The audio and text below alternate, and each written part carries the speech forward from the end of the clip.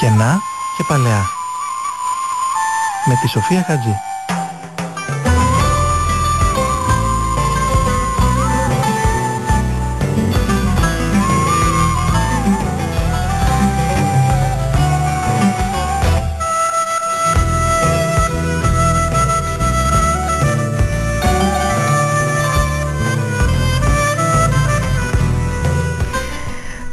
Φίλοι μας, γεια σας. Πυραϊκή Εκκλησία στους 91,2 Κενά και Παλαιά. Καλώς ήρθατε στην εκπομπή μας.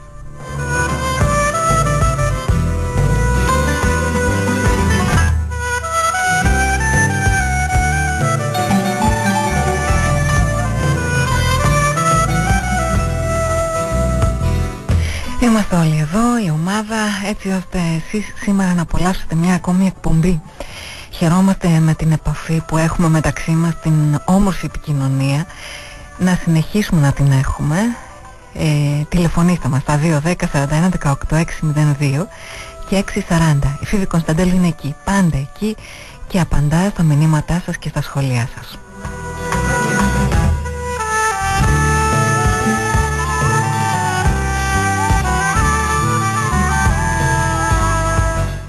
Βαγγέλης Φακιανάκης φροντίζει τα του ήχου και την επιλογή έχει στη μουσική ε, και έτσι ακούτε αυτό το όμορφο αποτέλεσμα κάθε φορά από το ραδιόφωνο.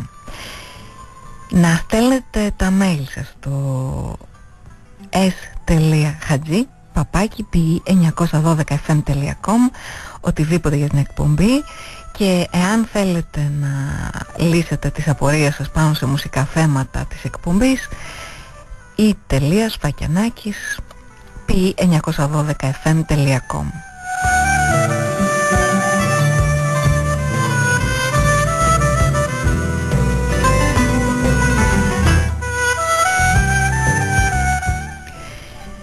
Σήμερα θα έχουμε κοντά μας τηλεφωνικά μία νέο βαπτιστήσα Μία Γερμανίδα που πριν κάποια χρόνια έγινε Ορθόδοξη θέλει να μοιραστεί μαζί μας την εμπειρία αυτή, τη δική της εμπειρία, να βαπτιστεί σε αυτή την ηλικία. Έχουμε να ακούσουμε πολύ ενδιαφέροντα πράγματα και να νιώσουμε πως εμείς που τον υπηοβαπτισμό τον έχουμε στην παράδοσή μας και βαπτιζόμαστε από μωρά παιδιά ε, δεν μπορούμε να καταλάβουμε πραγματικά το μεγαλείο αυτού που έχουμε το ότι είμαστε ορθόδοξοι ας πούμε και το ότι περπατάμε στο ίδιο χώμα, αναπνέουμε τον ίδιο αέρα όπως όλοι τον ίδιο ορθόδοξο αέρα δεν το εκτιμούμε και βρίσκουμε προβλήματα εκεί που δεν υπάρχουν. Ας εκτιμήσουμε αυτά που πρέπει να εκτιμηθούν. Νομίζω ότι μπορούν άνθρωποι που γνώρισαν την άλλη πλευρά και γνώρισαν και τη δική μας πλευρά να πούν πολλά πράγματα σε εμάς, να γίνουν αυτοί οι δάσκαλοι σε εμάς. Μένετε συντονισμένοι στους 91,2, είμαστε όλοι εδώ και θα ακούσετε ένα πολύ ενδιαφέρον θέμα σήμερα.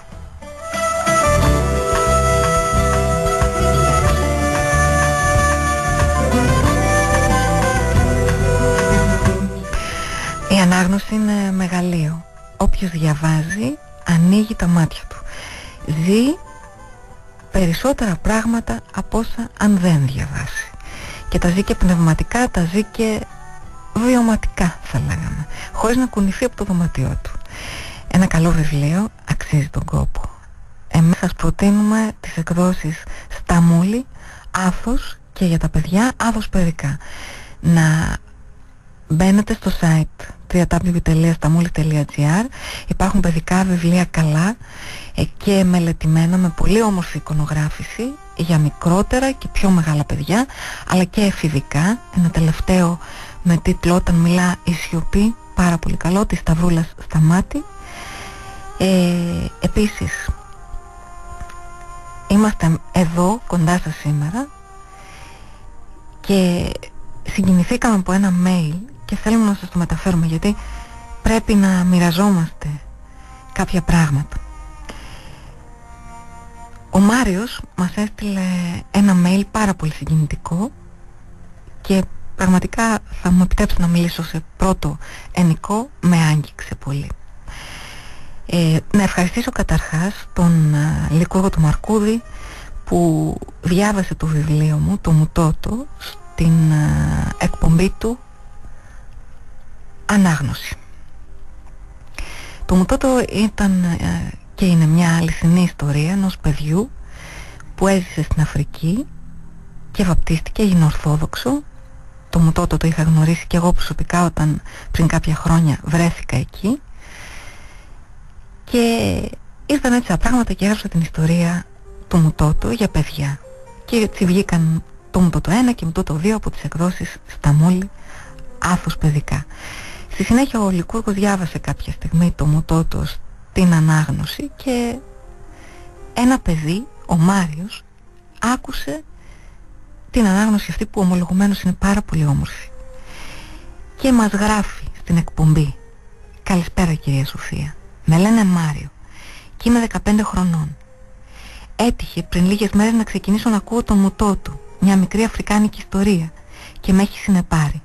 Θέλω πάρα μα πάρα πολύ να το κρατήσω στα χέρια μου Πόσο μάλλον όταν έμαθα πως έχει βγει και δεύτερο. Το πρόβλημα είναι που δεν έχω την οικονομική δυνατότητα να τα αγοράσω. Για να σας δώσω να καταλάβετε και οι δυο γονείς μου είναι άνεργοι. Γι' αυτό θα ήθελα να σας ρωτήσω αν στο σπίτι σας έχετε κάποιο περίσευμα από τα δύο αυτά βιβλία που να μην χρειάζεστε. Θα σας ήμουν υπόχρεος αν το στέλνατε στη διεύθυνσή μου. Αν δεν μπορείτε θα καταλάβω. Πάντως ευχαριστώ πολύ προκαταβολικά και για το χρόνο σας. Música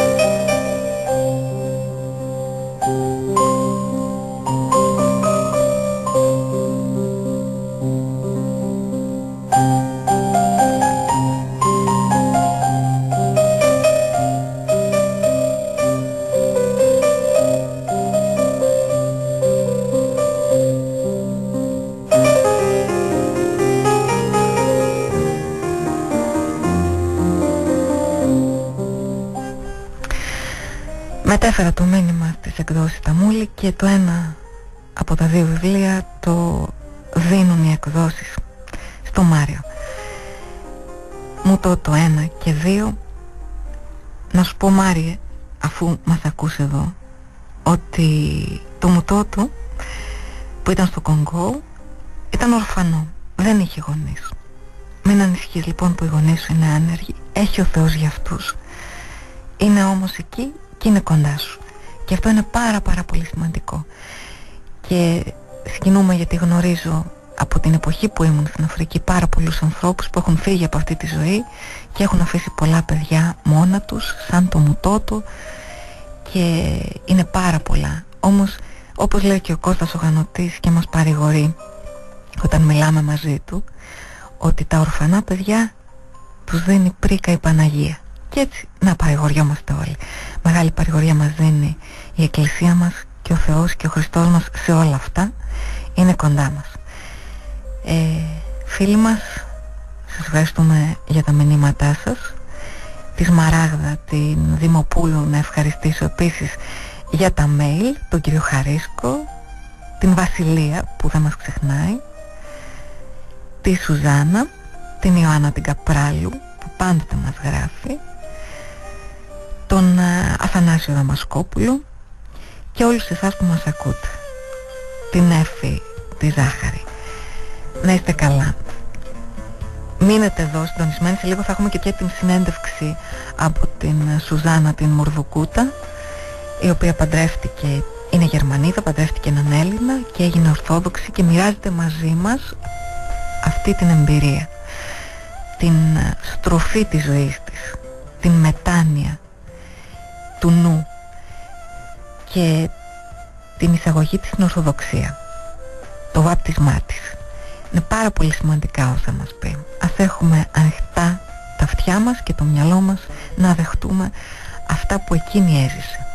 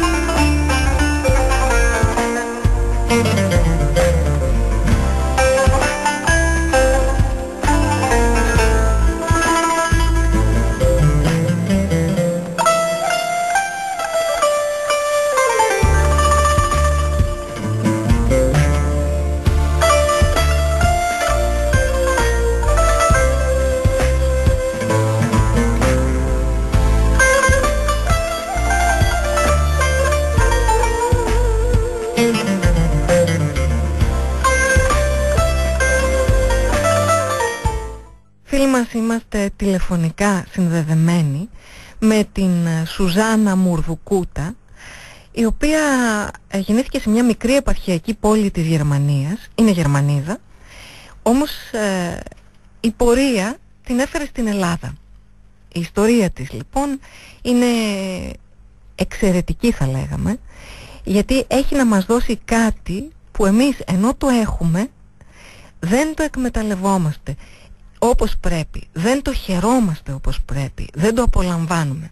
Όταν ένας άνθρωπος έχει γεννηθεί σε μια προτεσταντική οικογένεια όπως η Σουζάνα, έχει ακολουθήσει μια άλλη πορεία, έχει μείνει για πολύ καιρό μακριά από το Θεό και ξαφνικά έρχεται στην Ελλάδα και τα βήματά της οδηγούνται από το Θεό στην Ορθόδοξη Εκκλησία, τότε σίγουρα αυτό έχει να πει σε μας πολλά.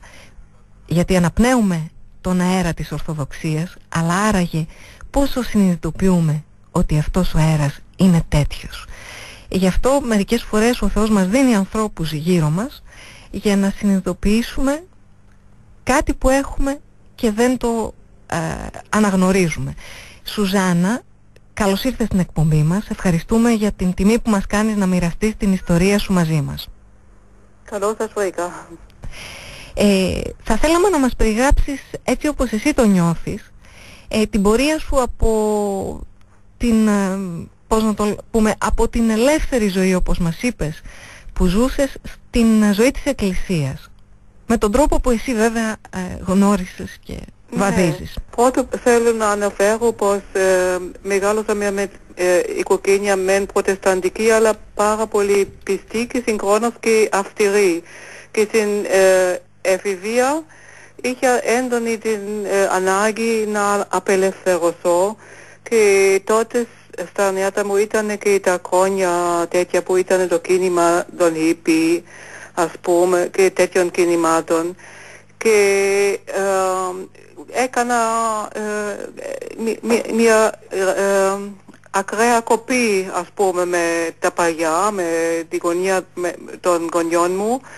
Και ε, άρχισα αυτή την ελεύθερη ζωή ε, πλέον. Έκανα ταξίδια, έκανα ε, έρευνες και σε άλλες ε, θρησκείες, σε ανατολικές θρησκείες θα έλεγα, σε γιόγες και σε κουρουισμός, ε, πολλά τέτοια πράγματα. Αυτά με τα οποία ασχολήθηκες, δηλαδή τη γιόγκα και όλα αυτά.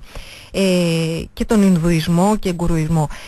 Ε, πήγες δηλαδή σε κάποιες χώρες και όχι, το έζησες. Όχι, γνώρισα στη Δύση αυτά. Βέβαια έκανα και ταξίδια σε αυτές τις χώρες, κυρίως στην Νότια Ανατολική Ασία αλλά ε, δεν πήγα ποτέ σε, εκεί σε αυτές τις χώρες ε, να φυτέψω παρά, να, να ε, παράδειγμα σε ένα ashram ή τίποτα τέτοιο.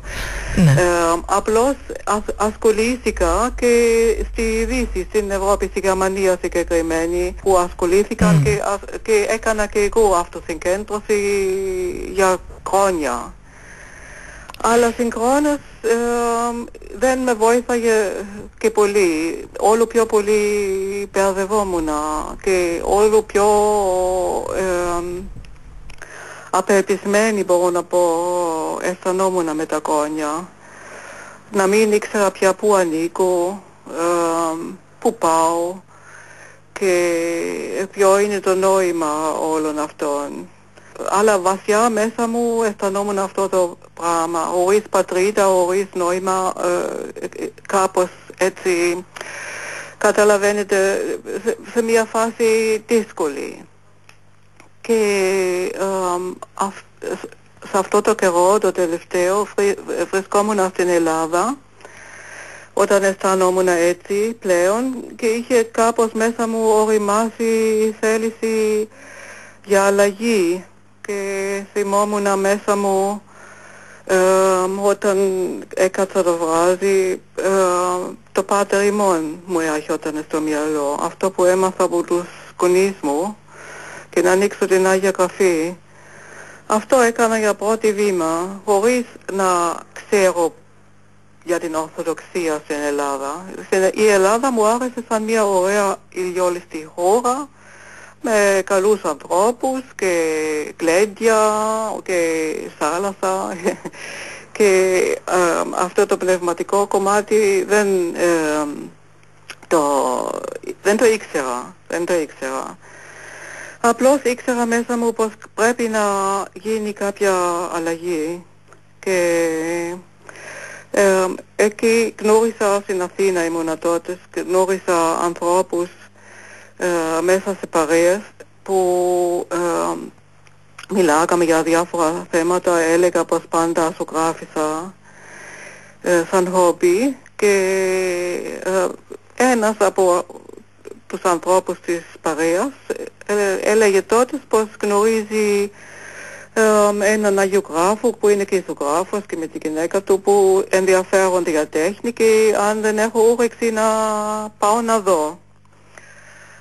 Αυτό ήταν συγχρόνως με αυτό που σας είπα πριν, πως θυμήθηκα ε, τα παλιά, θυμήθηκα να λέω το βράδυ το Πάτερ ημών και να αρχίσω να διαβάζω και στην Αγία Γραφή πάλι. Και έτσι το είδα και σημάδι κάπως και πήγα και γνώρισα αυτούς τους ανθρώπους και ήταν ένας αγιογράφος και τη γυναίκα του που είναι καλλιτέχνης και ε, επειδή ε, έπρεπε να αλλάξω και επάγγελμα γιατί ε, δούλευα σαν σερβιτόρα με ροκάματα. Δεν, δεν ήξερα πια έτσι πώς ε, πώς να συνεχίσω και επαγγελματικά.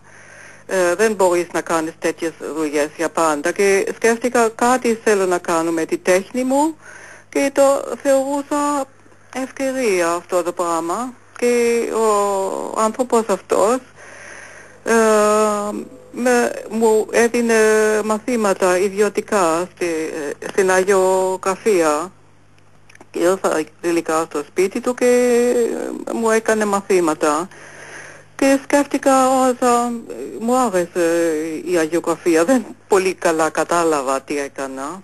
Πρέπει να παραδεχτώ. Αυτό το κατάλαβα πολύ αργότερα.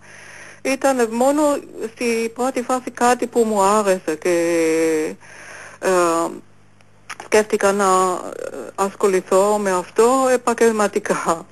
Αλλά εκεί που κάναμε τα μαθήματα μου έλεγε ε, ο δάσκαλός μου και για την Ορθοδοξία πολλά πράγματα και άρχισε και ε, μ' άρεσε και ε, αυτό διάρκεσε όσο κάτι μήνες και σκέφτηκα ε, ναι αυτή είναι η αλλαγή ξέρω εγώ που αναζητούσα ξέρω εγώ και ήθελα να τεθώ πάλι με το Χριστό.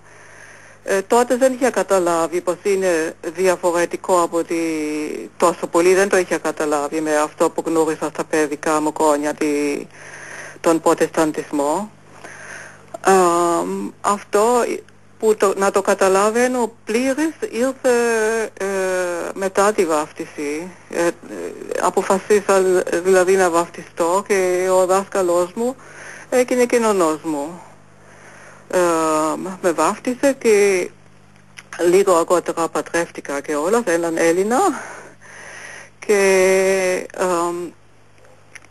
το πρώτο χρόνο μετά τη βάφτιση ήταν πραγματικά ε, πώς να το πω, ένα θαύμα μπορώ να πω πραγματικά γιατί άλλαξε όλη μου τη ζωή και χωρίς να το είχα, με, να το είχα σκοπό και χωρίς να το είχα μελετήσει αρκετά αλλά ήρθε από μόνο του. Ε, σαν να μου ανοίξανε τα μάτια για πάρα πολλά πράγματα στη ζωή μου. Ε, κατάλαβα έτσι τι από αυτά που κάνω έτσι τις αρεστούν το Θεό και με ποτίζουν να έχω, να έχω μια σχέση μαζί του. Και ε, ναι, ήθελα, μου ήταν πιο σπουδαίο να έχω αυτή τη σχέση με το Θεό παρά να μένω κολλημένα, καλουμένη σε, σε αυτά τα πράγματα που έκανα και ε, σαν από μόνος του, σαν ευλογία πράγμα, όχι σαν ευλογία Θεό, ήτανε ευλογία Θεού, μεγάλη, πάρα πολύ μεγάλη. Έτσι, μπορούσα να ξεκολλήσω από συνήθειες και πράγματα και απασχολείς που ε, μου κάνανε κακό και με χωρίσανε από το Θεό. Αυτό για ε, πρώτη φάση. Δεν ξέρω αν θέλετε να ρωτήσετε κάτι σχετικά. Βεβαίως. Ε, όλα αυτά αρχίζουν να συμβαίνουν, δηλαδή οι μεγάλες μεγάλες αλλαγές αρχίζουν Σουζάν να συμβαίνουν μετά τη βάπτιση. Ναι, ναι, ναι, ναι, ναι. Η καθοδήγηση από πνευματικό πόσο βοήθησε στο να βαπτιστείς και μετά στη μετέπειτα πορεία σου; Μπορώ να πω σε αυτό το στάδιο δεν είχε πνευματικό. Ε, βέβαια ο δάσκαλός μου με είχε πάει, έχει πνευματικό τον πατέρα Σαράντου Σαράντη. Εξομολογήθηκα, μιλάγαμε τα απολύτως βασικά με το πατέρα Σαράντη τότε και αυτός με βάφτισε και όλας και ε, λίγες μέρες μετά ε, μας πάτρεψε. Εγώ έμεινα στην επαρχία ε, αυτό στην Αθήνα δεν ε, έμενε ο πνευματικός μου. Δηλαδή δεν, είχε, δεν τον έχω ξαναδεί από τότε. Αλλά στη συνέχεια απέκτησες πνευματικό, έτσι; Α, η συνέχεια απέκτησα πνευματικό, αλλά αυτό ε, ήταν μια αρκετά μικρή πορεία. Δεν ήταν πως είχα εξομολόγο, είχα και πάντα πήγα για εξομολόγηση γιατί ήθελα να συνεχίζω αυτή την πορεία. Έμενα σε ένα μικρό χωριό στο, στη Πελεπόννησο και πήγα και εκεί στην εκκλησία, σε, σε μικρά χωριά, εκεί που μέναμε με τον άντρα μου. Και ε, οι βαπούλητες αυτοί, αυτοί ήταν απλοί άνθρωποι, δεν μπορούσαν να μου λύσουν ε, ε, πολλές απορίες που είχα και πάντα μέσα μου είχα έντονο την προσευχή Θεέ μου βοήθαμε να βρω ανθρώπους στο εξής που μπορώ να μοιραστώ και ε, βοήθαμε να βρίσκω στην πορεία στη ζωή μου να βρίσκω έναν πνευματικό που όντως μπορεί να μου λύνει τις απορίες μου και ε, να με βοηθήσει. Αυτό το είχα για χρόνια, πολύ έντονο. Και μέσω μιας καλής φίλης που τη ξέρω και αυτή πριν την αλλαγή της και να επιστρέφει στο, στο Χριστό ε, αυτή της αυτήν της βοήθαγαν πάρα πολύ ε, μια γυναικεία αδελφότητα κοντά στη Λάρισα και που, που πάω εδώ και 20 χρόνια και μέσα από αυτή την γυναικεία αδελφότητα που μου ήταν μεγάλη παρηγοριά κάθε χρόνο να πάω, αλλά ήταν γυναίκες φυσικά ε, και ε, ο πνευματικός ο δικός τους τότε ήταν πολύ μεγάλος, δεν δέχτηκε πια ανθρώπους. Μου ήταν οι αδελφές μεγάλη παρηγοριά και από τη γερόντισσα εκείνου το μοναστήρι μου έδωσε μια φορά, μου έδωσε ένα κατάκι με τη διεύθυνση των πατέρων της Μάνης από το Τουλούς και σε μια στιγμή μεγάλης μου ανάγκης με μεγάλα προβλήματα πήρα το θάρρος και πήρα τηλέφωνο σε αυτό το νούμερο. Και έτσι βγήκε η γνωριμία με ε, τους πατέρες ε, ε, στο Τουλούς. Και από τότε έχω πνευματικό και το πατέρα Νεκτάριος και ο δικός και δάσκαλος και το πατέρα Γαβρίλ μπορώ να πω.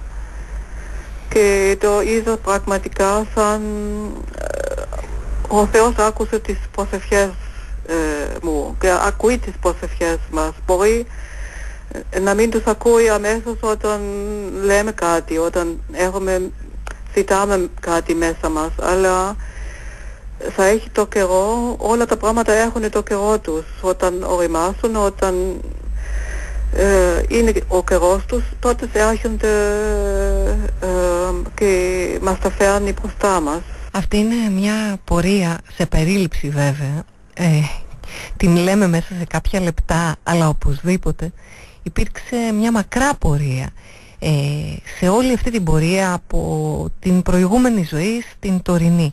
Υπήρξαν στιγμές που ε, μπορεί να είπες ότι λυγίζω τώρα ας πούμε ε, δεν αντέχω αυτό το πράγμα είναι βαρύ για μένα ε, να ζω την ορθόδοξη ζωή με τις νηστείες και Ναι. ε, με όλα αυτά. Όχι. ναι, καθότι η η προηγούμενη ζωή σου Ναι. δεν ήταν ε, μέσα σε αυτό το πλαίσιο ας πούμε που είναι Ναι, εμάς καθόλου των ήταν Ελλήνων το άκρος αντίθετο. Μπορώ να πω πως ε, αν λέμε πως ζούς, ε, μεγάλωσα στα χρόνια των hippie, φαντάζεστε όλα αυτά που έχει σχέση με αυτό. Όλα αυτά τα έκανα για πάρα πολλά χρόνια.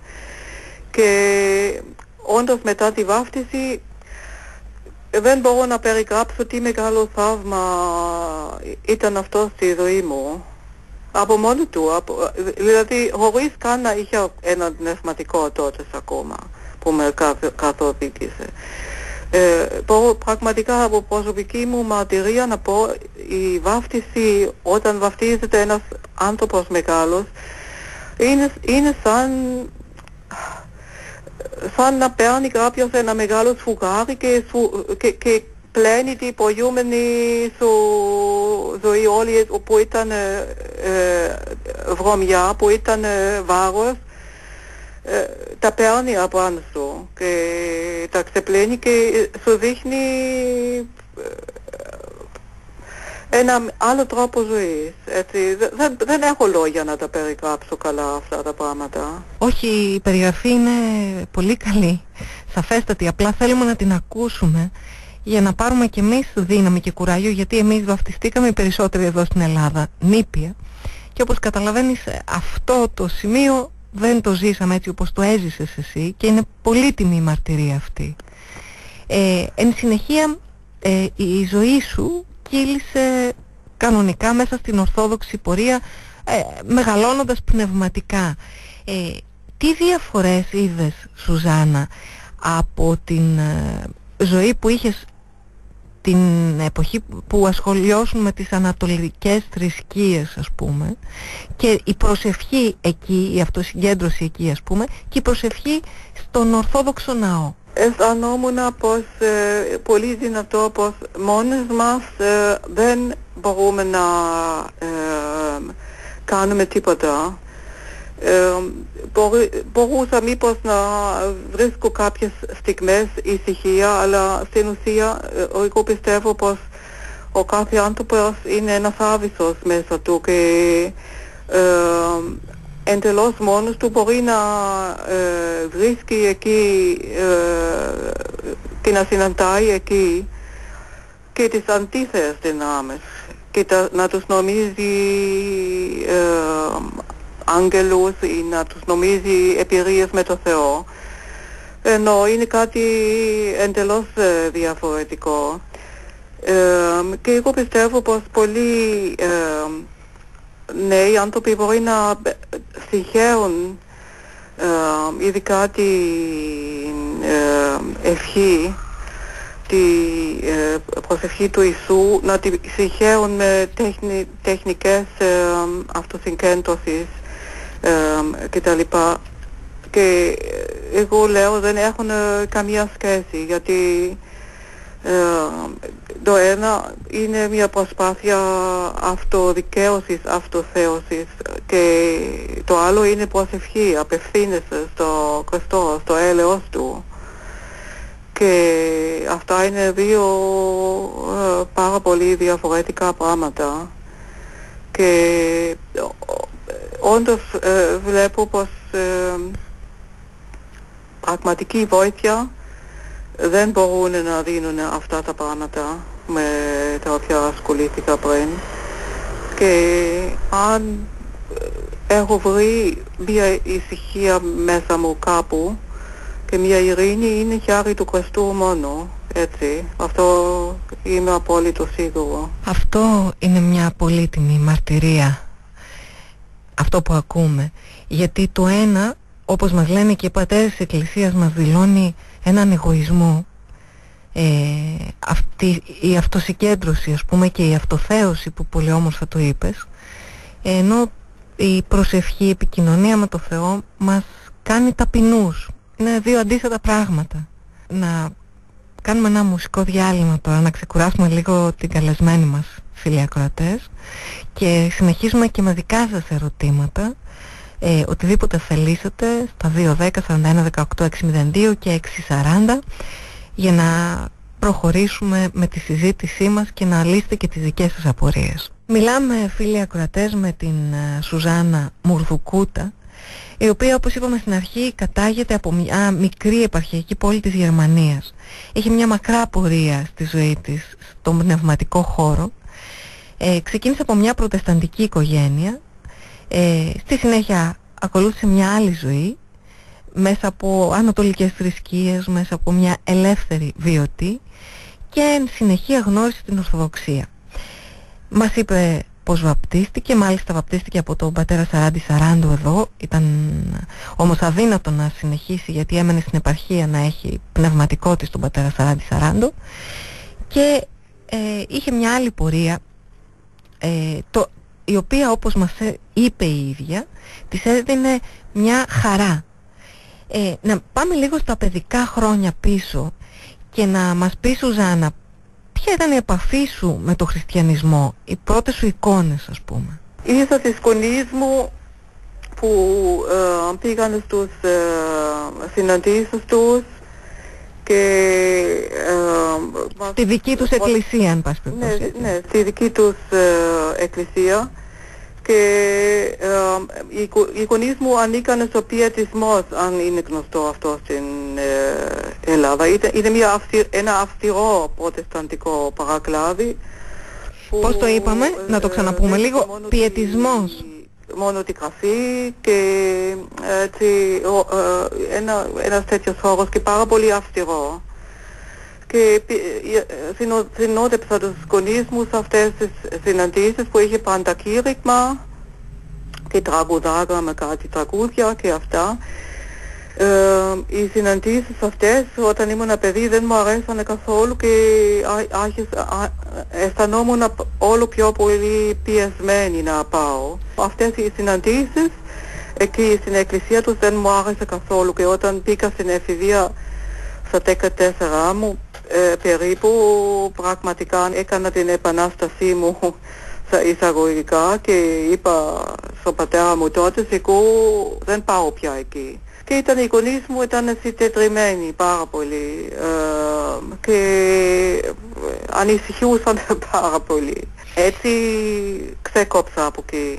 Οι δικοί τους ιερείς ας πούμε, πώς να τους πούμε, ε, εκεί του πιετισμού όπως τους είπατε. Τι άνθρωποι ήταν, πώς είχαν επαφή με τους ανθρώπους, από ό,τι θυμάσαι βέβαια; Ο παππούς μου ήταν γεροκήρυκας, ο πατέρας της μητέρας μου και όλας. Ήταν όλοι πάρα πολύ αυστηροί, αποκορεύανε πάρα πολλά πράγματα και που, που τα θεωρούσαν ε,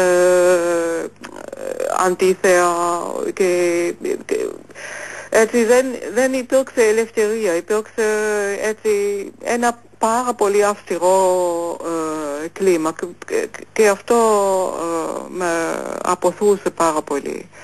Και φυσικά όχι μόνο εμένα ναι, και πολλοί άλλοι νέοι άνθρωποι που ε, ήξερα από αυτούς τους κύκλους. Αλλά δεν υπήρχε ουσιαστική επαφή ας πούμε του πιστού με τον ιεροκήρυκα. Γι' αυτό ε, στράφηκε, στραφήκατε και δεν ήταν και η αληθινή πίστη, γι' αυτό στραφήκατε ναι. σε άλλους δρόμους εν τέλει. Ναι, ναι, ακριβώς. Με την Ορθοδοξία, δηλαδή ποια ήταν η πρώτη σας επαφή, γνωρίζατε τι σημαίνει να είναι κανείς Ορθόδοξος στα 16 που ήσασταν σε, αυτή την, σε αυτό το όχι. παρακλάδι ας πούμε, του προτεσταντισμού. Όχι, όχι. Ήταν άγνωστο. Όχι, δεν είχα. Δεν ήξερα για την Ορθοδοξία τίποτα, απολύτως τίποτα. Ήξερα για τους Καθολικούς, ε, αλλά μόνο αυτό. Και πώς βρισκόμενοι στην Ελλάδα, ε, φαντάζομαι ότι θα έμαθες για την εκκλησία την Ορθόδοξη. Πώς ναι. σου φάνηκε στην αρχή, δηλαδή όταν μπήκες σε μια εκκλησία Ορθόδοξη και είδες τις εικόνες, γιατί εκεί ε, που βρισκόσουν ας πούμε στη Γερμανία εικόνες δεν υπήρχαν στις εκκλησίες, ναι, ήταν ναι. άλλο πράγμα. Εδώ με, ναι. με τις εικόνες, το λιβάνι, όλη αυτή η ατμόσφαιρα, ας πούμε, πώς σου φάνηκε σε, ένα, σε έναν άνθρωπο που δεν είχε ξαναδεί κάτι τέτοιο; Εγώ νομίζω, νομίζω πως μου φάνηκε ε, πως η Ορθοδοξία μιλάει σε όλο τον άνθρωπο, όχι μόνο στο μυαλό του δεν απευθύνεται, αλλά απευθύνεται με όλα αυτά τα πράγματα με τα κεριά, με το λιβάνι, ε, με τις ωραί, ωραίες τελετές. Ε, απευθύνεται και στους αισθήσεις στον όλον άνθρωπο, στην καρδιά. Ε, δεν ορίζει ένα, ένα κομμάτι. Και αυτό ε, μου άρεσε πολύ αλλά δεν μπορώ να πω πως αυτό ήταν αμέσως το πιο σημαντικό ε, κομμάτι. Όταν γνώρισα την Ορθοδοξία καλύτερα, ε, μου άρεσαν και με πείσανε ε, πολύ οι απαντήσεις που πήρα για τα διάφορα ερωτήματα που είχα μέσα μου. Και έτσι μπαίνεις μέσα στην Ορθοδοξία. Μας είπες ότι εκεί στον προτεσταντισμό που ήσουν, σε αυτό το παρακλάδι, ένιωθες σαν παιδί ε, αυτή την πίεση. Ναι. Ε, στην Ορθόδοξη Εκκλησία, ποια ήταν η διαφορά, ένιωθες πάλι πιεσμένη; Τον δάσκαλό μου και τον νόμο και τη γυναίκα του, που, ήταν, που είναι και καλλιτέχνες, ε, τους γνώρισα και ήταν ελεύθεροι άνθρωποι. Αν και πολύ πιστοί, και είχαν τον ενθουσιασμό πραγματικά για το Χριστό. Τους είδα όμως ε, ελεύθεροι άνθρωποι και ε, μου δίνανε νομίζω πολύ καλό ε, παράδειγμα για πώς μπορεί να ζήσει κανένας μέσα στην Ορθοδοξία. Φυσικά ε, υπάρχουν και άλλα παραδείγματα, δεν θέλω να πω, αλλά έχω, έχω συναντήσει ανθρώπους ε, ανοιχτούς και χαρούμενους ε, μέσα στην Ορθοδοξία και αυτό ε, με, με, με, τραβάει πολύ και μου αρέσει. Συνεχίζεις με την ε, αγιογραφία; Ναι, συνεχίζω με την αγιογραφία και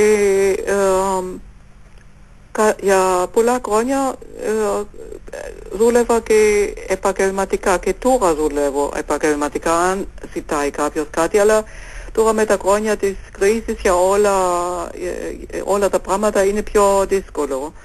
Πάντως εγώ αν το κάνω επαγγελματικό ή για μένα πάντα θα συνεχίσω να ε, κάνω αγιογραφία γιατί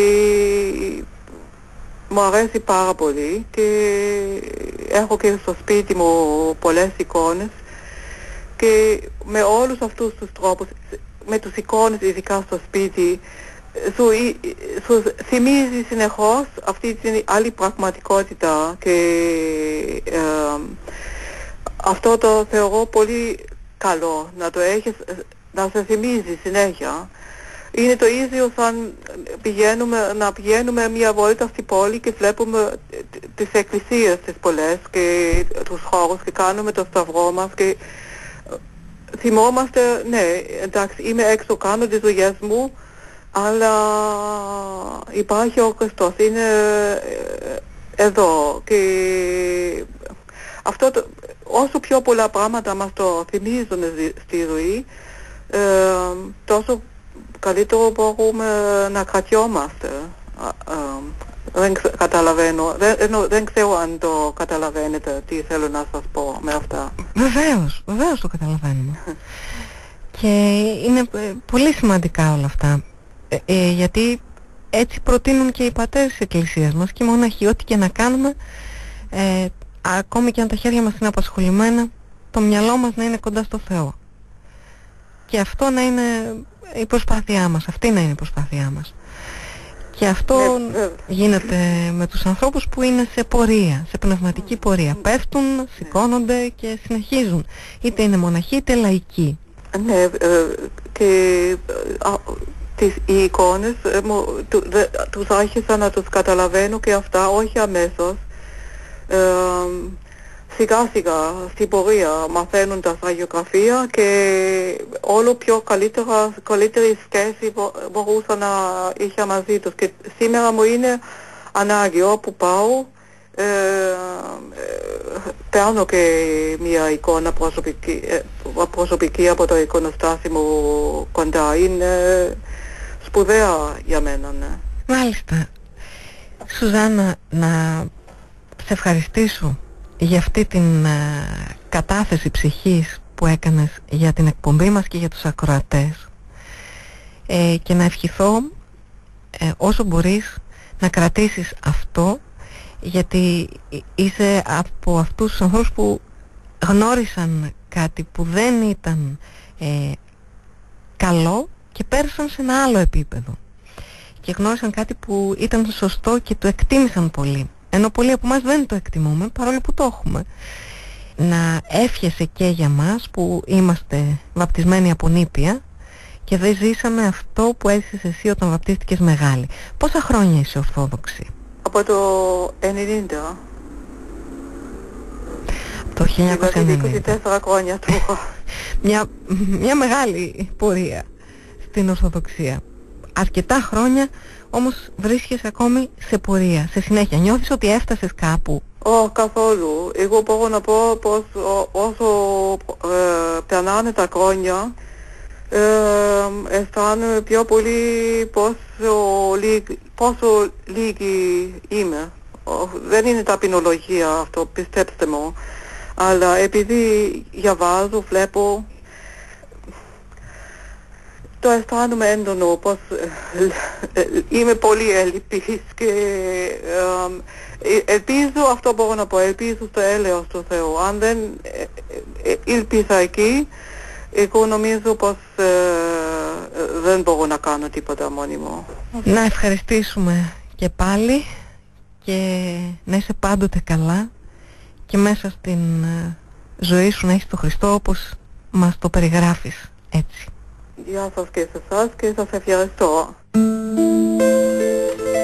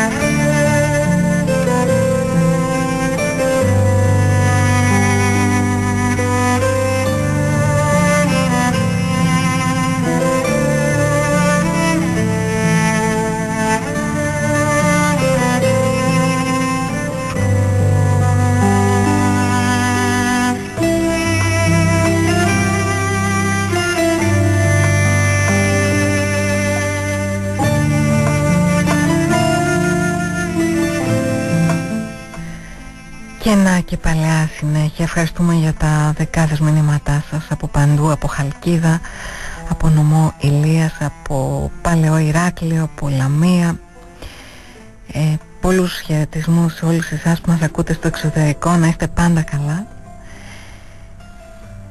Πολλές ευχαριστίες στην ε, Σουζάννα, τη Μουρδουκούτα, από την Γερμανία, η οποία μοιράστηκε μαζί μας αυτή την εμπειρία που είχε να βαπτιστεί σε μεγάλη ηλικία και να μας μεταφέρει όλο αυτό που έζησε το παλιό και το καινούριο. Είστε και εκπομπή και να και παλιά είναι εδώ για σας. Λέει ο Άγιος Ιωάννης ο Χρυσόστομος όταν θέλεις να κοινωνήσεις βρες μια εκκλησία που να τελεί τη Θεία Ευχαριστία και ήσελθε να κοινωνήσεις. Όταν όμως θες να μιλήσεις για την καρδιά σου πρόσεχε πού και σε ποιον θα πας. Να υδρώσεις πριν επιλέξεις το πρόσωπο που θα δει και θα ακούσει τις πιο εσώτερες παρθενικές φωνές σου. Εγώ δεν είμαι Άγιος, μα θα πω κάτι επιπλέον, λέει ο πατήρ Χαράλαμπος. Εάν από μικρό παιδί κουβαλάς την πληγή της ενοχής, εάν βαστάς το μαρτύριο της ευαισθησίας, εάν τα μάτια σου δακρύζουν στην ομορφιά και την αγάπη, εάν ζητάς μια αγκαλιά να ξαποστάσεις τους εφιάλτες της ύπαρξής σου, πρόσεξε σε ποιον παπά θα εξομολογηθείς ή θα ζητήσεις συμβουλές. Προσευχή σου, αναζήτησε όχι τον σπουδαίο, το όνομα, τον προορατικό, τον διορατικό και θαυματοποιό. Τίποτε από αυτά. Ένα παπά που να ζει το Χριστό και στην καρδιά και τη ζωή του. Που σημαίνει αγαπητικό και ταπεινό. Αυτό που λέει το γεροντικό, να έχει καρδιά. Καρδιά ανθρώπου. Άκου τον Άγιο Ιωάννη της Κλίμακος. Μην αναζητάτε προγνώστας, μα ταπεινούς ανθρώπους της καρδιάς. Πρόσεχε, μη σε γεμίσουν ανοχές και μόνο για το ότι ζεις και αναπνέεις. Μην προβάλλουν πάνω σου τις δικές τους σκιές. Ένας παππούλης, από αυτούς που γνωρίζουν εμπειρικά και βιωματικά το Θεό, γι' αυτό και έχουν αγάπη, ταπείνωση, μου είπε το ύφασμά σου ήταν από μετάξι. Στο τράβηξαν άτσαλα και βία και το έσκησαν. Τώρα θα προσπαθήσουμε να το ράψουμε. Μα η πληγή θα φαίνεται. Πατήρ Χαράλαμπος.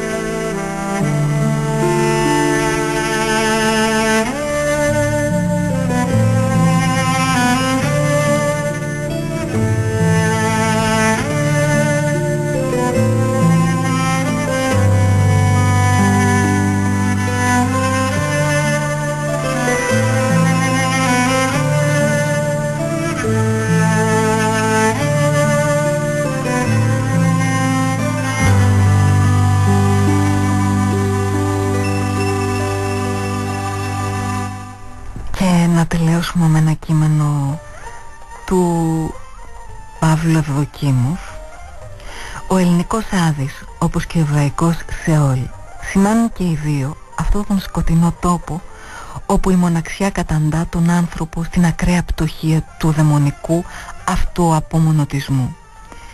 Θα μπορούσαμε να παραστήσουμε τον Άδη σαν ένα κλουβί κατασκευασμένο από καθρέπτες. Μέσα εκεί δεν μπορεί κανείς να δει παρά το δικό του πρόσωπο που πολλαπλασιάζεται επάπειρον και κανένα άλλο βλέμμα δεν έρχεται να το κοιτάξει. Το να μην βλέπεις παρά τον εαυτό σου σημαίνει να χορταίνεις από αυτόν μέχρι ναυτίας μέχρι που να παθαίνεις οντολογικό λόξιγκα τα κοπτικά αποφθέγματα του Αγίου Μακαρίου δίνουν μια συναρπαστική περιγραφή αυτής της μοναξιάς. Οι δέσμοι είναι δεμένοι πλάτες με πλάτες και μόνο μια μεγάλη προσευχή των ζωντανών τους χαρίζει μια στιγμή αναπαύσεως όσο χρόνο διαρκεί ένα ανοιγόκλεισμα των ματιών βλέπουμε τις μορφές μας ο ένας του άλλου. Αντιθέτως, απέναντι σε αυτή τη δράση του κακού, ο Απόστολος Παύλος παρουσιάζει τη δράση του καλού του Χριστού, ότι εις άρτος ο Χριστός εν σώμα υπολιεσμέν και μέσα στην ευχαριστιακή κοινωνία γίνεται το εν από όλους που ανεκεφαλαιώθησαν εν Χριστώ κατά την εικόνα της τριαδικής κοινωνίας ο Θεός ένας και ταυτόχρονα τριάς η ενότης μέσα στο πολλαπλούν.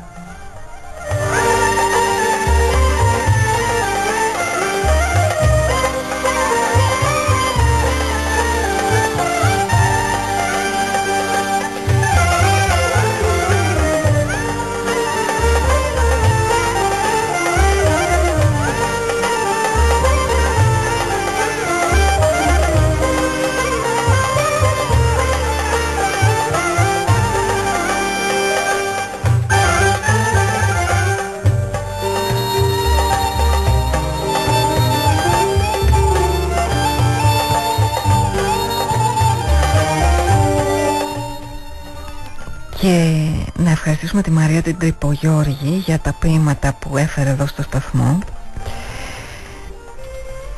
Και θα τελειώσουμε με ένα από αυτά. Καταφυγή μου ο Χριστός. Έχει τίτλο.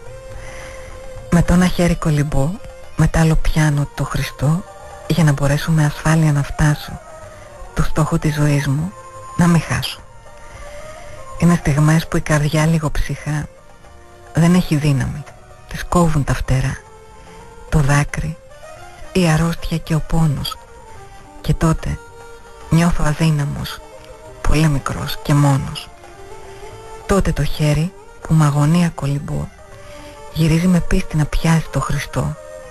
Τα δυο μου χέρια στα χέρια του αφήνω και τη ζωή μου ολόκληρη στην πρόνοιά του δίνω.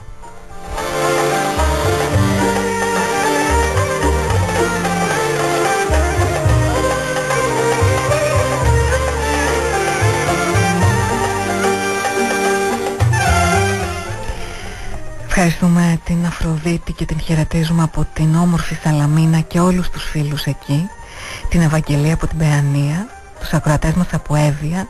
Ευθυμία από Κορυδαλό να είστε πάντα καλά και Κωνσταντίνα από Ήλιον. Ελένη από Πέραμα τις καλύτερες ευχές για όλη την οικογένεια. Εδώ φτάσαμε στο τέλος. Σας ευχαριστούμε που ήσασταν κοντά μας όλη αυτή την ώρα. Να είστε καλά όλοι να μην χάνετε το κουράγιο σας. Δεν το χάνουμε το κουράγιο μας. Είδατε τι προτείνει η Μαρία Τρυπογιώργη. Καταφυγή μόνο ο Χριστός. Κοντά μας ήταν οι εκδόσεις Ταμούλη Άφος και Άφος παιδικά να είστε πάντα καλά. Καλό υπόλοιπο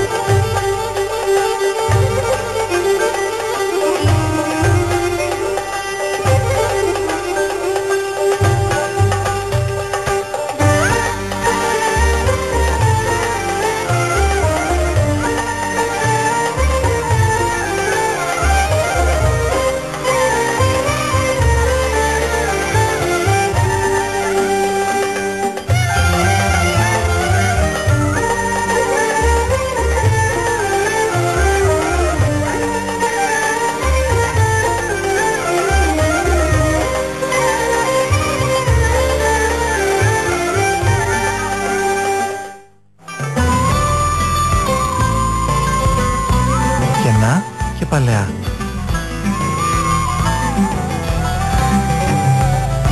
Με τη Σοφία Χαζή.